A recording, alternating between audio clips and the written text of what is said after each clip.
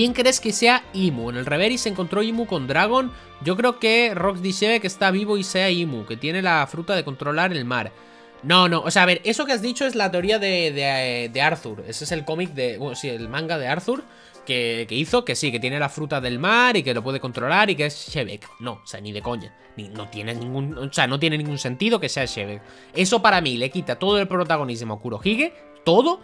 Le da demasiado protagonismo a Shebek no tendría demasiado sentido que tenga esa fruta y no haya eliminado a los Jonkous ya, porque si ya sería el rey del mundo en su momento, ¿no? No entiendo por qué, por qué no eliminaría a esa gente antes. Hay cosas ahí que a mí no me cuadran. Yo de verdad no creo que Shebek sea Im ni de coña. Yo creo que Im es un... Un Spandam. Creo que es una persona que está allí, a lo mejor tiene mucho conocimiento y todo lo que quieras, pero no es fuerte. De verdad. El enemigo final de One Piece va a ser Kurohige. Im está allí como meramente alguien que controla las cosas porque es muy inteligente, porque lleva ahí desde hace mucho tiempo o porque es su cargo, es un simple político. Pero fuerza no va a tener, estoy seguro. Pero va a tener un gran don de palabra, creo yo. A lo mejor tiene un poco de fuerza, pero no va a ser un problema para Luffy, ni de coña. No va a tener el nivel de un Yonko ni de coña. Ni siquiera un almirante, nada, nada, ni de coña.